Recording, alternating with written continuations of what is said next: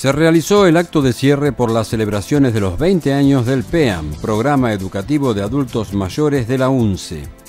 Además de la exposición de trabajos de los distintos cursos artísticos y de oficios, se llevó a cabo una mesa panel sobre el tema La educación con adultos mayores en la universidad.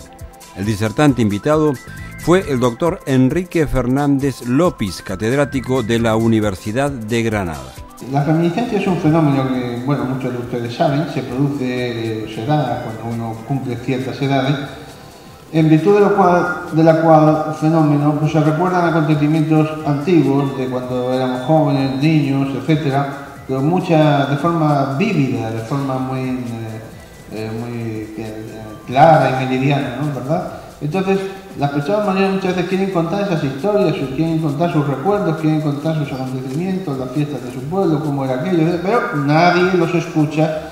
Y entonces creo que una cosa, eh, hablando de memoria, que un aspecto de la educación, nosotros lo hacemos en Granada con mis alumnos, es eh, grupos de reminiscencia, donde en grupos las personas mayores pueden contar sus, eh, cómo eran sus eh, tradiciones, sus bailes, sus cosas, etc. Y eso se demuestra sobradamente, no solo que es beneficioso cognitivamente, sino sobre todo afectivamente es un predictor de salud.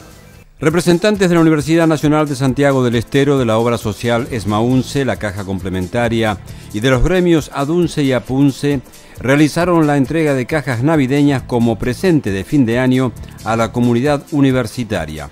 Esta acción es fruto del esfuerzo de articulación de todas las instituciones que conforman la universidad y beneficiará a casi 2.000 integrantes de la comunidad.